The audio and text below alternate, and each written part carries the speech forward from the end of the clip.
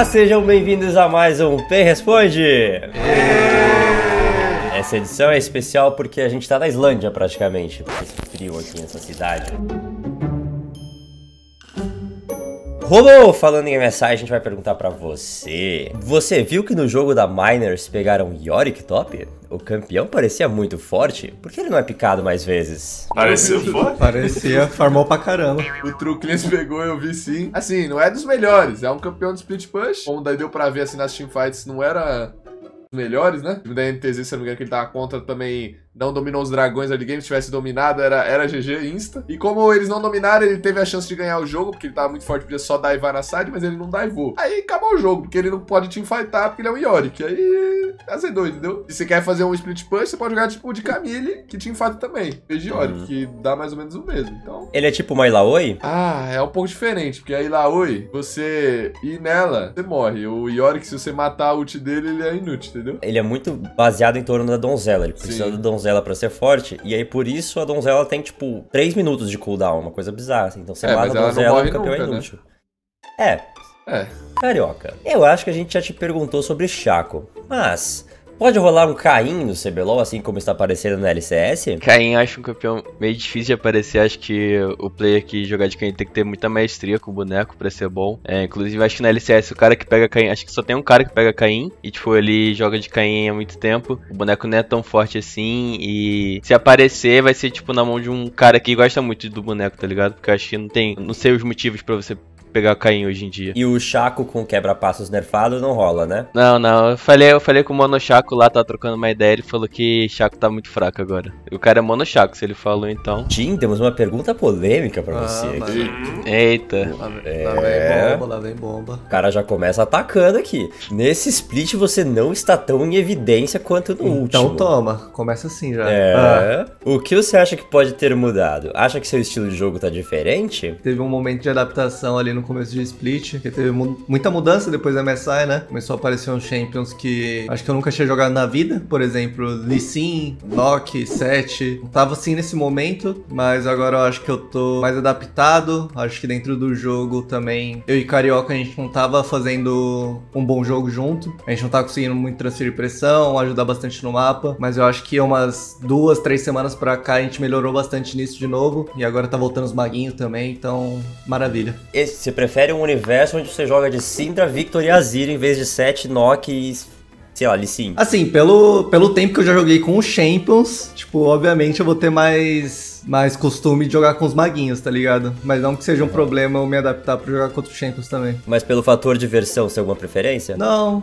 Acho que não. E com o que é roubado eu me diverto. É basicamente é, isso. que eu ia falar, só quer boneco roubado. É, tem que estar então. tá roubado, tem que estar tá roubado. Muito bem. Roubou. O Cauê quer saber por que, que a Camille perdeu espaço no cenário atual, visto que no split passado ela tava com uma dominância. Cara, eu acho que ela dá, dá, vai dar uma voltada agora. Os outros campeões estavam mais fortes do que ela. Ela basicamente apanha pra todos. Ela apanhava pro Licinho, ela apanha pro Viego. E Necton também. Então são campeões que têm um pouco mais de prioridade do que ela. E você blindar uma Camille também é um pouco delicado, se não tiver bans, porque ela tem alguns counters aí que dificultam demais o jogo dela, como como esses três que eu disse, o Volibear também, então tem bastante campeão que ganha dela. Só que esses campeões tomaram nerf, o Nocturne também ganhava dela, só que esses campeões estão tomando nerf aos poucos e os itens desses campeões também estão tomando nerf, então eu acredito que ela deve subir um pouco de prioridade. Não acho que ela vai ser a first pick, porque existe Renekton no jogo, existe o Voli também que tá bem forte, mas dá pra jogar com ela tranquilo, dá pra você fazer uns combinhos ali com galho, que a galera gosta, e acho que ela deve subir um pouquinho mais daqui pra frente. Tem alguma coisa que bate em 7? Cara, eu gosto de Nar. Melee ah. é complicado contra 7. Pode arriscar um Darion, né? Um Darion. Uhum. Mas é jogável pro set aí. PTT, pergunta pra você aqui é do Savin. Quais as chances de você pegar um mago pra jogar na posição de AD Carry, já que... Aí ele faz uma afirmação que aqui é meio polêmica, já que AD Carries convencionais são,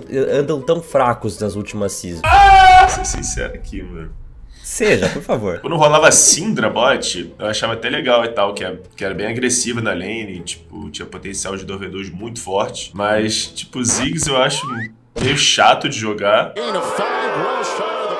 Tipo, eles simplesmente só limpa a wave é, no bot. Então, mas tipo, cara, se eu simplesmente ver que o negócio tá completamente quebrado, eu vou ter que jogar, tá ligado? Se chega num ponto onde eu, o negócio não faz muito o meu estilo de jogo e eu vejo que dá para jogar contra, dá pra lidar, etc., é, eu sempre opto por, por não picar o, o, herói, né? Mas então a gente tem esperança de ver BRTT de Heimer. Aí entra no que eu falei, né? O boneco não é quebrado, tá ligado?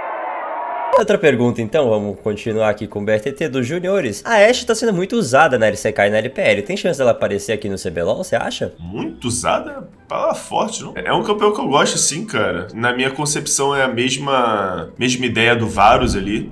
Um campeão que tem utilidade muito grande. Tem até mais utilidade que o Varus, né? Porque uh, o rock shot dele é muito quebrado. É, consegue dar visão do path do jungle, etc. Então ajuda bastante o jungle do teu time, com o que ele vai fazer, pensar nas jogadas que ele vai fazer. Por conta dessa visão, ela tem a lane phase muito forte, que nem o Varus. Eu acho que é até um pouco mais forte que a do Varus. Sei lá, dá pra aparecer sim, cara. Se você precisar de prioridade bot, é, quiser forçar objetivos, early game, dragon, essas coisas, o campeão é bem forte. Ah, você considera que ela é um campeão que dá prioridade pra bot lane? Com certeza. Acho que, tipo, basicamente é um skill matchup. Talvez eu coloque 55% pra Ashe, mas dá pro Varus lidar. Ou você mexe uma lane de muita win, tipo Kalista, e tenta dar um win level 1 e já pegar pressão na primeira wave, porque se deixar ela é, controlar a wave fica muito difícil. E você faria ritmo fatal e matar Kraken? Ah, depende muito do jogo, né, cara? Porque eu gosto bastante de Vendaval também. Ah, sim. E, e Arco Escudo também tem sido bastante utilizado, é por conta do meta de muito campeão melee que entra nela, etc. Então a galera tá, tem optado bastante pelo arco escudo, até tipo Parfélios tem feito bastante também, para ter o, aquele escudo a mais e conseguir sobreviver nas lutas. Então depende muito do jogo. Muito bem. Tim, vamos voltar a falar sobre Control Mage. Com esse meta mudando um pouquinho, a gente tá vendo mais Azir, mais Syndra, mais Oriana, você acha que tem espaço para Fizz como resposta para esses bonecos? Fizz, o boneco é forte contra esses Control Mage. O problema é que ninguém sabe jogar direito de Fizz. Eu fiz eu pegar o, a ult nesse Control Mage depois do 6, uma Syndra, uma Oriana, a Oriana só morre. Só que o problema desse campeão também é que não tem muita pressão de game. Hoje em dia rola muita coisa antes do level 6. Acabar ganhando seu early game ali, então é meio perigoso pegar o Fizz. Mas a matchup 1v1 assim, você consegue ficar tranquilo com os campeões. É mais a pressão que você vai tomar no mapa mesmo e seu time vai acabar se ferrando um pouquinho por conta do pique. Você acha que é fácil para um time jogar? Por exemplo, vamos supor que você pega uma Oriana Blind e toma um Fizz. Você acha que é fácil de se organizar com o Carioca, com o robô para ficar tendo cover. Um jogo mais certinho assim é muito fácil você dar cover nas waves certas, tá sempre buscando a Oriana pra fazer play e não deixar ela realmente um V1, que um V1 não tem muito o que fazer nessa, nessa matchup, é meio difícil. E aí se o Fizz não conseguir te matar, ele já tá automaticamente perdendo, né? É, aí a Oriana vai fazer dois itens ali, faz uma Ludens, faz uma Banshee ou uma Zona e já acaba o Fizz. Já. O que, que vocês tiveram que se organizar em estratégia e mentalidade para seguir com o jogo após aquele desastre no level 1 na jungle inimiga contra a Loud? Como é que foi a mentalidade? Robô, fala pra gente. Pra mim tava normal,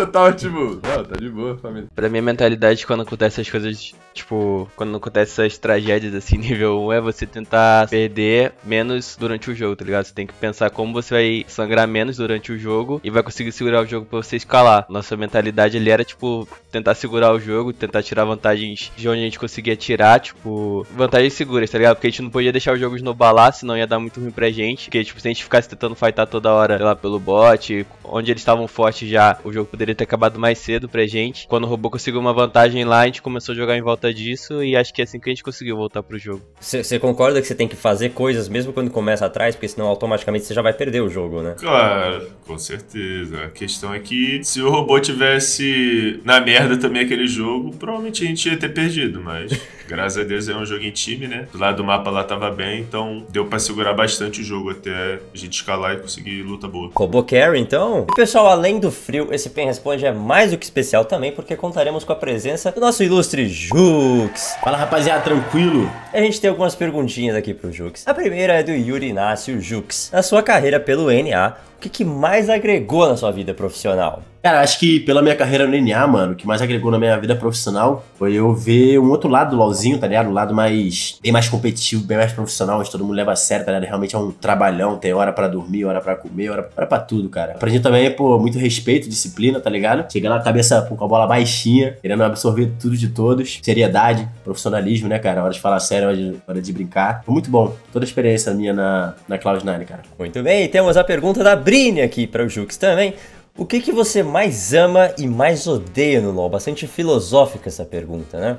O que eu mais odeio no LoL, mano, é o fato de não ter nenhum tipo de comunicação por voz dentro do jogo, tá ligado? Eu acho literalmente impossível você bater uma, uma gameplay de alto nível sem comunicação, entende? Então acho que é essa parte que eu mais odeio no League of Legends. Tô ligado que botando o chat de voz pode aumentar a toxicidade, mas ao mesmo tempo, ao meu ver, é uma coisa necessária pra bater um LoLzinho de qualidade. Cara, o que eu mais amo no LoL é o fato de que todo mundo pode criar uma continha, tá ligado? Se enfrentar ali, jogar com os amigos ou tardar no ranked. Tem, tem muitas, muitos modos pra você encarar o LoLzinho, tá ligado? Pode ser só por diversão, pode ser full trash, tá? Levar pro lado mais profissional, tá ligado? É um jogo muito divertido, cara, quando você consegue jogar com os amigos assim, jogar, jogar com a rapaziada. Por fim, Jux, a pergunta do Heitor é como foi essa transição de organização pra você? Como está sendo a relação de todo mundo? Como está sendo a relação com a galera aí? Cara, a transição foi bem tranquilinha, até porque eu era um pro player no, na Cloud9, né? Agora eu tô na PEN como streamer. E além disso, pô, acho que facilitou muito o fato da PEN ser brasileira.